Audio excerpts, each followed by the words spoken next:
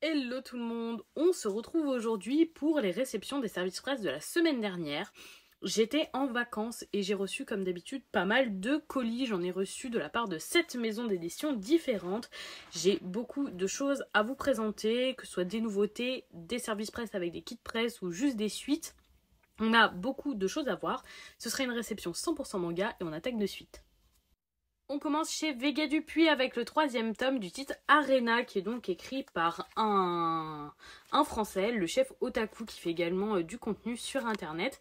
C'est donc un webtoon adapté au format papier. J'avais bien apprécié les deux premiers tomes. Franchement, j'avais été assez agréablement surprise de voir qu'on tombait pas trop dans le truc bateau. À voir par la suite si euh, on conserve cette originalité ou si on finit par la perdre. Je, je ne sais pas encore. C'est encore à découvrir. Mais pour le moment, en tout cas, c'est une bonne pioche. On passe chez Ototo avec un webtoon encore une fois. Il s'agit d'Everything is Fine qui sortira le 7 juillet. Une nouvelle série. Alors on pourrait croire que ça va être une série très mignonne au vu des graphismes, mais nous sommes là sur un titre horrifique.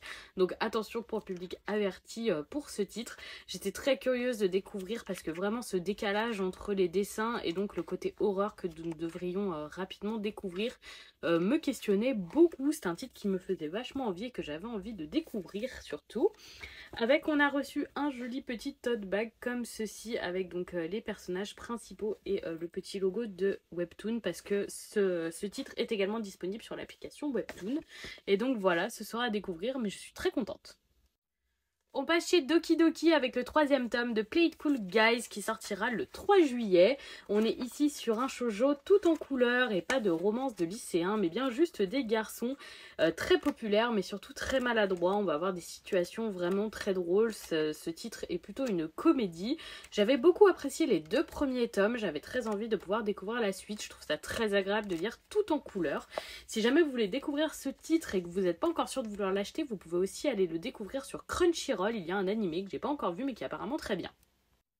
Toujours chez Doki Doki et qui sort également le 5 juillet, j'ai reçu le second tome de Conqueror of the Dying Kingdom, une série qui m'avait plutôt plu au premier tome. Finalement, on avait un début très isekai, très classique et j'ai eu un peu peur parce que vous savez que moi les isekai c'est pas forcément ce que je préfère.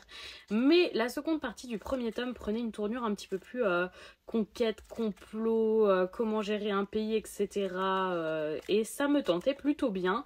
Donc à voir si ce second tome retourne plutôt dans tout ce qui est isekai à ce là ce titre ne sera pas pour moi. Ou si on reste vraiment sur euh, ces techniques de guerre, euh, cette gestion de pays, etc. Ou là, ça pourrait être un titre qui m'intéressera totalement. Ce sera vraiment ce second tome qui sera décisif de ce côté-là.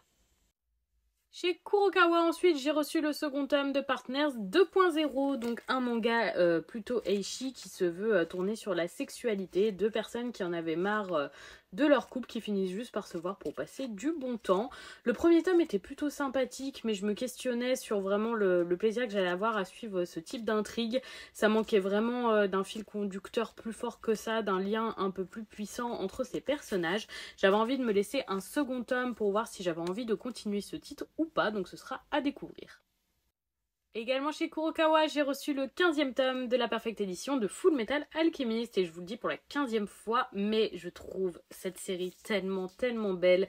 Les couvertures sont tellement bien travaillées, le, papier est qualitatif, l'édition est grande et agréable à lire.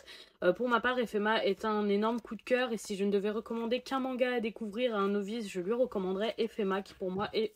Oh, il y a quelque chose qui est tombé. Est une œuvre parfaite. Vraiment, j'aime énormément ce titre, je vous le recommande 100 fois. Cette Perfect Edition sera terminée en 18 tomes, donc on approche de la fin et elle est vraiment très très jolie, très agréable à lire. J'ai déjà vu FMA en animé, l'adaptation Brotherhood est parfaite et reprend très très bien cette histoire, mais c'est un plaisir de me replonger dans la lecture. Le petit papier qui est tombé, c'est le prochain titre de l'autrice de FMA qui a également fait Arslan. Son titre sort bientôt et j'avoue, j'ai trop hâte de le découvrir. On passe chez Kiyun avec un nouveau manga français. Il s'agit de Dream Maker. Je suis très contente de l'avoir reçu. C'est donc une autrice qui a gagné le tremplin Kiyun de cette année. Vous savez, c'est un concours qui permet d'être édité euh, par Kiyun pour les mangakas euh, français. Et je suis très très contente de pouvoir découvrir ce nouveau titre qui sera vraiment un titre normalement d'aventure. J'ai eu énormément de belles surprises ces derniers temps sur des mangas français de la part de différents éditeurs. Vraiment, je m'y mets de plus en plus. Et je me rends compte que nos français ne sont vraiment pas mauvais à, cette, à, ce petit, euh, à cet exercice de création. Donc vraiment, j'ai très très hâte de pouvoir découvrir celui-ci. J'aime la couverture qui est extrêmement colorée, qui accroche tout de suite l'œil et qui donne envie de découvrir. À voir par la suite si j'accroche à ce titre ou non. On passe chez Manabooks avec les deux premiers tomes de Villageois level 999, donc un nouveau titre de fantasy qui va sortir chez eux, qui a déjà 14 tomes au Japon, donc euh, qui est déjà une série bien fournie et qui n'est pas encore terminée, elle est toujours en cours.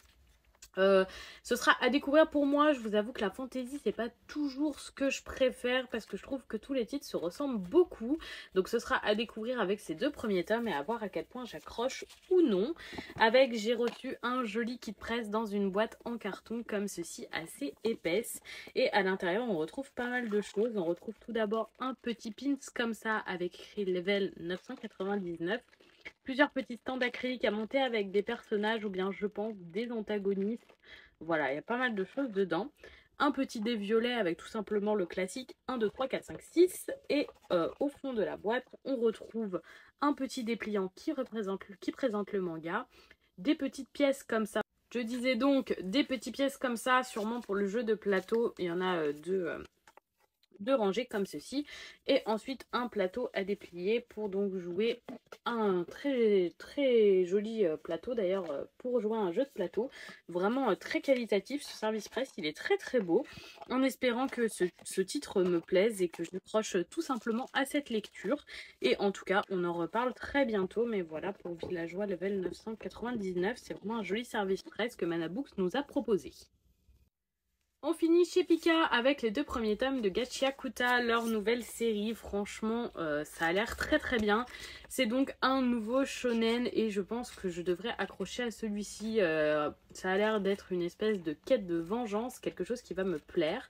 La première chose que je me suis dit quand j'ai reçu ce tome et quand j'ai vu ce titre au-delà de ça, c'est les dessins me font vraiment beaucoup penser à Fire Force. Et effectivement, la mangaka qui a écrit ce manga était assistante euh, de l'auteur de Fire Force. Avec, on a reçu un joli petit kit presse comme ça, avec un parapluie que je n'ouvrirai pas pour des raisons purement pratiques, avec les personnages principaux dessus. Et à l'intérieur, ensuite, on avait un petit sac comme ça. Et quand on l'ouvre, on retrouve quelques éléments à l'intérieur. Déjà un petit fascicule de présentation du titre comme ça avec quelques planches toujours super agréables pour prendre des photos. Et une petite bombe de tag comme ça, très jolie et très bruyante. Et voilà pour ces réceptions post-vacances. Franchement, je trouve que c'est très raisonnable pour une semaine de réception qui n'y ait, entre guillemets, que ça. Il y a des années où vraiment j'étais ensevelie de titres, donc je suis contente. Je vais essayer de refinir ma pile à lire de service presse, me mettre bien à jour pour pouvoir encore continuer mes achats. Dites-moi si vous lisez certains de ces titres ou si certains vous tentent ou si vous les avez déjà lus tout simplement et que vous avez envie d'échanger là-dessus. C'est toujours un plaisir d'échanger avec vous pour moi en tout cas. Je vous souhaite une très très bonne journée et je fais des bisous tout le monde.